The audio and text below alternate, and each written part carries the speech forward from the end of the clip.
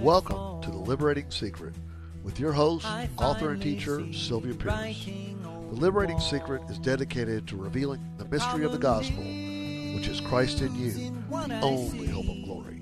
Let's join Sylvia Pearce for today's lesson.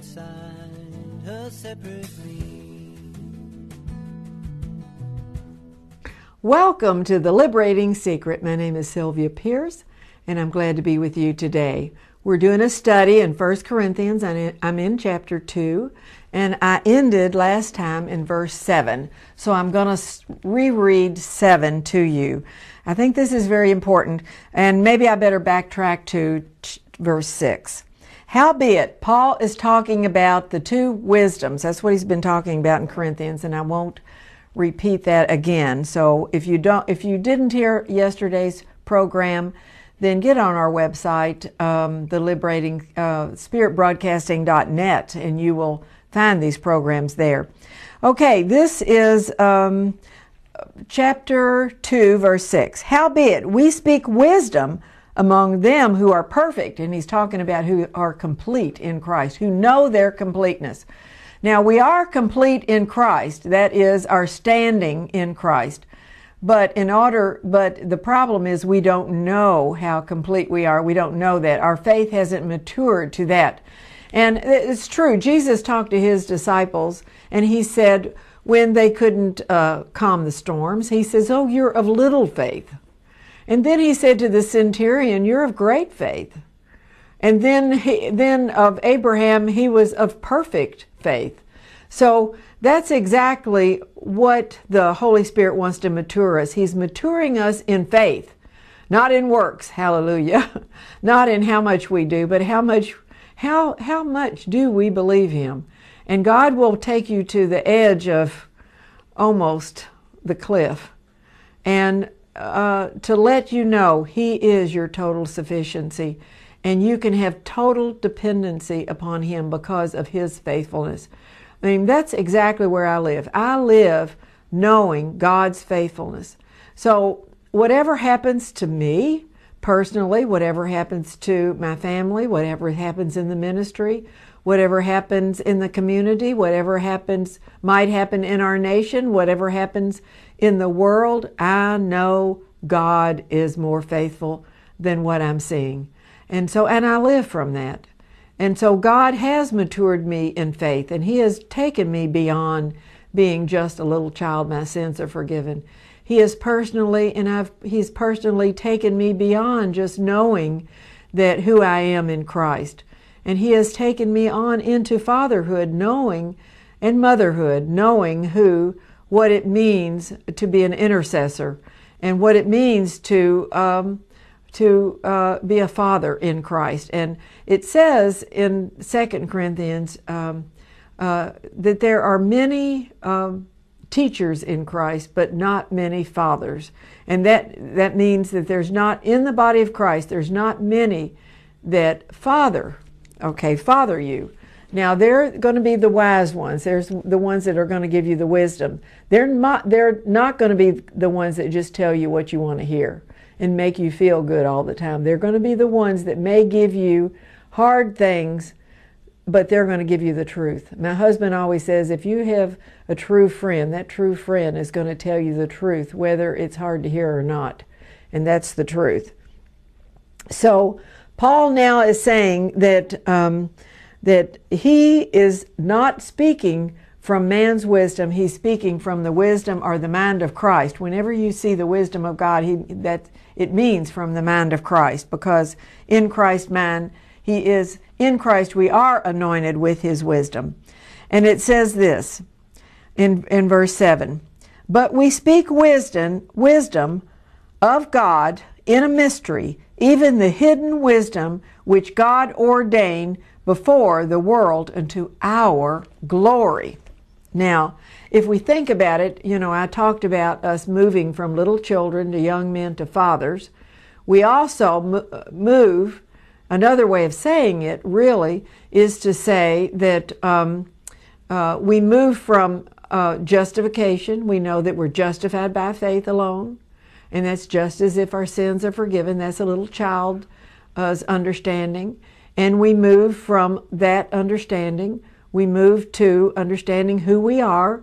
To we're just we're sanctified also by faith. That's where the church has been stumbled for years because they're trying to make themselves perfect or holy by their own self effort, and that's what God is um, is bringing us into a new understanding of our sanctification in Christ. It's not by works of our righteousness we're sanctified, because by the one offering He has sanctified us forever. And so, so He is my holiness, and He is my wisdom, and He is my justification. But then on past that, Romans 8 goes into the next understanding, and that's understanding our glorification. Well, he mixes suffering with glory in Romans 8, which is very interesting. If we don't understand suffering, you see, everybody, all of Christianity thinks that we can get out of our suffering. Well, yes, we do live from the power of God, that is true. But suffering is a very vital part of Christianity. It's not something to be avoided, even though if you can avoid it, that's wonderful. Your flesh isn't going to like it. But the Lord puts His suffering upon us at time. We bear it. We uh, we and it's called the sufferings of Christ. Wow. Um, uh, Philippians talks about that. Philippians in chapter three says that I might know Him and the power of His resurrection. Well, that's great to know that His resurrected life, He lives His life within me, and that's very powerful. But then it goes on to say, in the fellowship of his suffering. Well, I had a friend once say that, well, I want to know the power of his resurrection, but I don't do suffering. Well, none of us do it uh, joyfully at first until we know the secret that glory really comes out of suffering. Now, um, how can I how can I say such a thing? Well, actually, Romans 8 says that. The great victory chapter, Romans 8, says that uh, suffering comes, uh, suffering and glory are the opposite ends of the same thing because it says this, and I, I believe it's verse 18, but I'm going to have to look that one up. I think it's verse 18.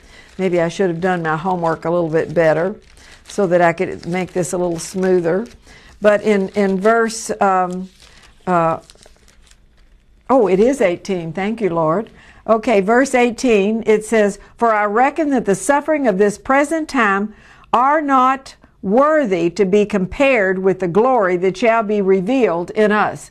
So Paul, uh, Paul even said it. Paul says that I fill up that which is behind of the sufferings of Christ. So to say that we Christians are never to have suffering is really such a baby point of view you see, we need to get out of the playpen and understand how glory is going to be brought into other people and how death might work in me. I might go through a great suffering, but it's going to bring life in other people. And how all that works together, how these opposites do work together. We talked about that a little, t- little bit next last time. How that um, weakness and strength live in the same body. Well, weakness, well, suffering and glory do too. I do suffer as a human. I have things that that that beset me. I have things that bother me. I have problems in my family. I have problems with myself. Paul had a great problem with himself when he had covetousness, and he had to understand that the covetousness and the sins that he was doing in Romans 7 was not really him, was really because Satan had deceived him and made him think he was an independent self so therefore able to conquer his own, his own problems. See, when we really learn how to embrace negatives, embrace the suffering, then we can move into the wisdom of how to, to move into the glory, of how God is going to bring glory out of suffering. And I always say, if I had a pencil, and here is a pencil right here, there's a point on one end, and there's uh, an eraser on the other end. So when I'm pricked in my flesh, you see, with something, some point, something that comes into my life that causes me some pain, you see, if I fight it or fear it or run from it, I'm not going to find the glory that God has in it. But if I can push through and say, I'm just going to embrace this and see what God is going to do, He will then bring you all the way through to the eraser where He erases it and causes the glory to be manifest right through this suffering. So, suffering and glory are the opposite ends of the same thing. That's exactly what this verse says in Romans. It says, "For the re- for I reckon that the suffering sufferings, meaning there might be many, of this present time are not worthy to be compared with the glory that shall be revealed in us." So, suffering and glory are the opposite ends of the same thing, and I love to say that and Corinthians is just full of those opposites. I love that in Second Corinthians, and let me just go to Second Corinthians chapter uh, 4. Go to Second Corinthians chapter 4, verse 8. It says, For we are troubled on every side, yet not distressed. We are perplexed, but not in despair. So, see, those opposites are right there. We're perplexed. We feel perplexed. Our mind, we, it feels confused. But we're not in despair. Why? Because we're always living from knowing. We know that the Lord has an answer. We know that the truth is really within us. We wait on it.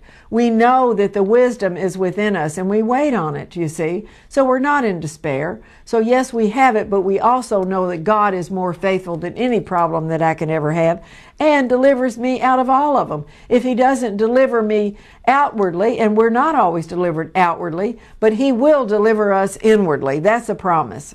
And so it says, we're persecuted yet not forsaken. So why would anybody even want to want Christianity if they really knew that it was a package that you're going to have? When you unro- unwrap this free package of Christ, you're going to find out that there's suffering there. Well, people say, whoa, whoa, like my friend, I don't do suffering. Well, you're not going to mature as a Christian unless you walk into, walk through your valley of the shadow of death then you will find that there's no evil that has any power over you. You see, we're always trying to get out of them. We're always trying to get away from our human reactions that are fearful and trembling and, and confused. And if we would walk through it and trust God and know that His sufficiency is, is within me, then we would find the power. We would find the victory. We would find the wisdom in the situation. It says, always bearing about in the body, in our human flesh, the dying of the Lord Jesus. And Philippians 3 says that I might know the, uh, the uh, fellowship of his suffering. So it's not even you that's it's not even you're you're you're joined to him. You're co-heirs with his suffering. That's true.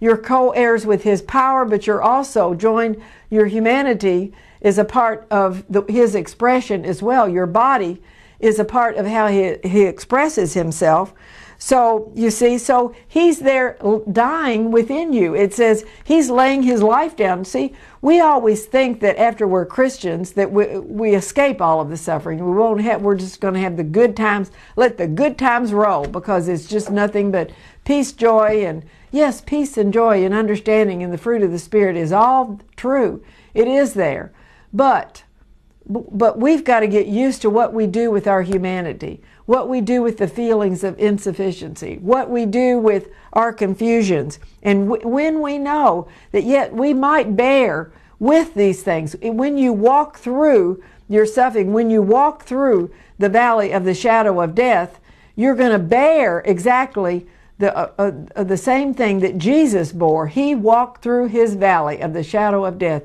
and he no evil was there that could really harm him you see, because we take away the power of evil by not giving Satan any power. So you start embracing your suffering. You start embracing your negatives. And as you do, but at the same time, you trust, you trust that the Holy Spirit is your answer in the middle of it.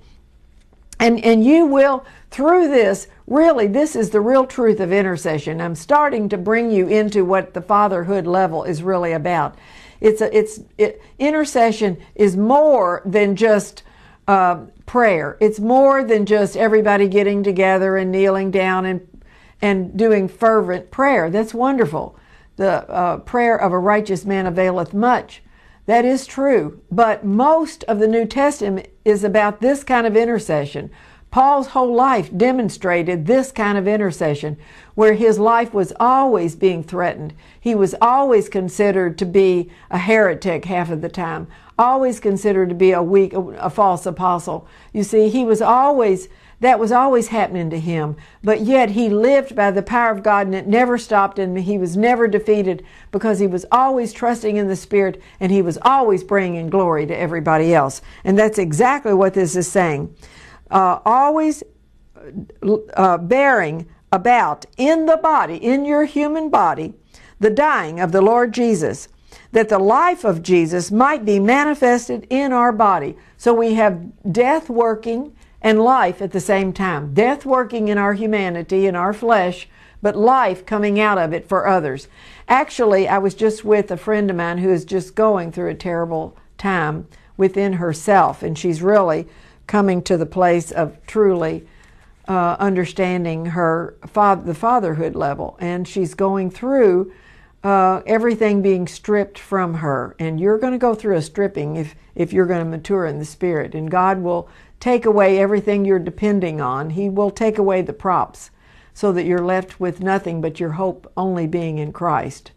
And so, uh, and and and I said to her, I said, but you know, if you would start embracing the these uh, the, this pain instead of running from it, God will bring glory because you're really entering into the life of what it means to be an intercessor. And we've got to understand how to embrace instead of fear, fight, and escape any of any fearful hard places because those are the very hard places God has put you in because we're meant to be uh, uh, uh, it says in Second Corinthians that um, it says in 2 Corinthians chapter 5, and let me just turn to that. It says, We have the ministry of reconciliation. So if you have the ministry of reconciliation, then you're meant to reconcile and be put into hard places so that, because you're the one that's meant to be to reconcile that by your faith. So death will work in you, but life will work in others. And God will give you the wisdom on exactly how to do that. That does not mean that you always just are a doormat. It does not mean that. Jesus never was a doormat. A lot of people think, well, then I just have to lay my life down and just take everything that everybody's doing to me. Jesus never did that. He never, he, the Pharisees tried to put him down every minute, and he never took that from the Pharisees. You see, and we don't either. Uh, no man, he says, no man takes my life from me, but I'll freely give it of myself. So we have to understand we're not meant to be doormats, but and God will give you wisdom on what to do and what not to do in the situation. Sometimes it's you're meant to stay, sometimes you're meant not to stay. And he is your wisdom on that and you find out exactly which because the point is that the people are reconciled. The point is not to make it ha- a happier place for you. The point is that they come to find their fullness in Christ and and so and so God will put you in very peculiar places because you're you have the ministry of reconciliation, and so so and which will bring other will bring glory to your world. Now that's the whole point. Suffer if suffering and glory are the opposite ends of the same reality, and they both live within me. Yes, I'll suffer on my flesh level, but the glory of God lives within me, you see, then you're going to be able to impart glory to other people. You're going to be able to impart life to other people so that you'll, you'll, we want to impart. We, we talk a lot about impartation. Well, this is exactly how we impart. Well, most people think, well, no, you do it by some powerful way to impart. Well, a lot of intercessors are, are imparting to other people and they're hidden. There's a lot of intercessors that are hidden. There are uh, mothers that are believing for their children, and they the children never knew that it was really the mother that stood for them. Maybe the mother's already gone to heaven. And you know what? Jesus is at the right hand of the Father interceding until his enemy, enemies be made his footstool. And we're in Christ, and we're seated there in Christ. So we're also interceding. So I think even the ones that have gone before us are still interceding for us, and I, I believe that. I think everything works together for our good. every evil thing that happens to you works together for your good. Every good and wonderful thing that happens to you works together for your good.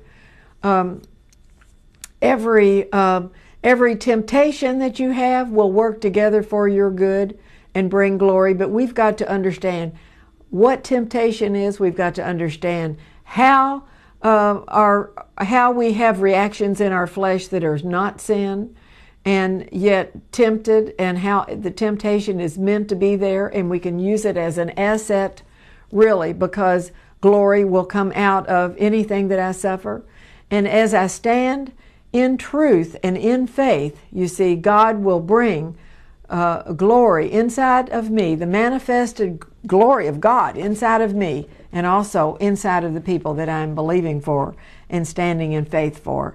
So this wisdom that is hidden, God, uh, it's Paul is saying that he even speaks that hidden wisdom which God ordained before the world unto our glory. So just know that glory is not just some arbitrary thing. It's manifested through suffering. Suffering and glory are the opposite ends of the same thing. And yes, we suffer, but yet we are, you know what, when we meet Jesus at the final day, and um, he'll say, Oh, my good and faithful servant, look what you did for me. And we're going to say, What? I don't even know what. I felt so uh, limited in what I did for you. He's going to say, Oh, my dear and faithful friend, you are my friend. You truly manifested my life here in this painful place.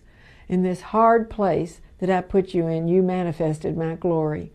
Oh, my dear and faithful friend, you have done so much for me and through me and by me. You, you don't even know. And I'm going to be so surprised and we're all going to be surprised because we have no idea, because most of the time we're feeling weak. We're feeling like we're not doing anything. We're feeling insufficient. And, and, but we don't live by that by our feelings. We don't judge by sight. We don't judge by feelings. We ju- live by the power of God, you see. So it is the Holy Spirit. The Holy Spirit is using us in the most menial places um, you know, I heard just recently somebody said, Well, what great thing are, are you doing to bring light to this dark world? And uh, uh, one minister said, Well, I'm ministering the truths of Ezekiel. Another minister said, I'm teaching on, you know, this subject and that subject. And but, but a mother said, Well, I'm raising my three children in Christ and teaching them the truths of Christ. And that's what I'm doing to bring light to a dark world. So it may be just that. It may be just that. It may be that God has put you in a, a business that is very hard. Maybe He's put you in a marriage that's very hard. Maybe He's, wherever He has put you, know that uh, you can live in praise and victory and not in defeat because these these sufferings that you're suffering, they're not even your suffering, they're the sufferings of Christ. And you press towards the mark of the high calling, because the high calling of Christ is this life of intercession, where, yes, death works in you, and the death of dying of Jesus works in your body, but the life of Jesus also manifests through you and imparts life to other people. So, if you really want to understand the deep things of God, you start declaring that I already have your wisdom and, and just say to the Lord, Thank you for maturing me on past babyhood, where I'm just judging everything by how I feel or what things look like. And thank you for putting me in hard places so you can bring forth your glory to other people. So, um, not too many people will ask that prayer, will pray that prayer, but I'm telling you, if you want the glory of God to be manifested, then uh, stop asking to be delivered from all of the evil things that might befall, beset you, you see, because it's there, those very places that God has put you to bring light to a dark place.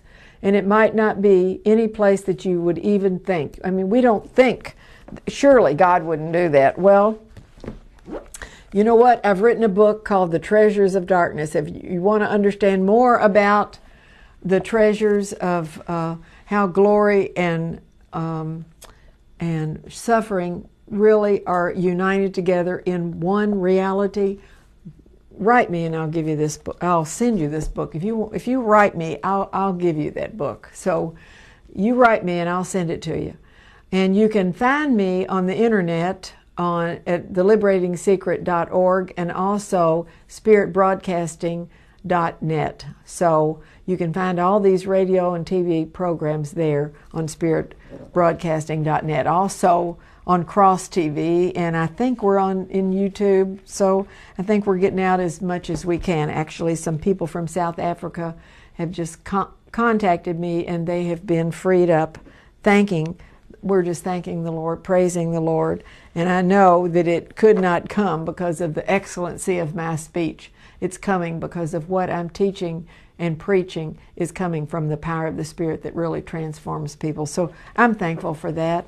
And we're thankful to the Lord's faithfulness, that He's always faithful to uh, bring glory out of every hard place. Just like Moses, uh, God told Moses, um, uh, don't, don't strike the rock, speak to it.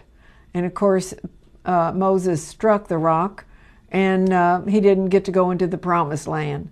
Well, if you just speak to your hard place and declare that God is here, God is in the midst, and He is about reconciliation, you see, living water will come out and it will put you into the promised land every time. You'll have promised land understanding every time, you see. But we're always trying to get rid of our hard places. We're trying to run from them. We're trying to avoid them. We're, tr- we're fearing them because we don't understand that God means for you to be in a hard place because He's going to bring glory and life to other people through your suffering and through the suffering that He co suffers with us. If you suffer with me, you'll be glorified together with me, He says in Romans 8. That suffering with Him, you're not suffering a lone person.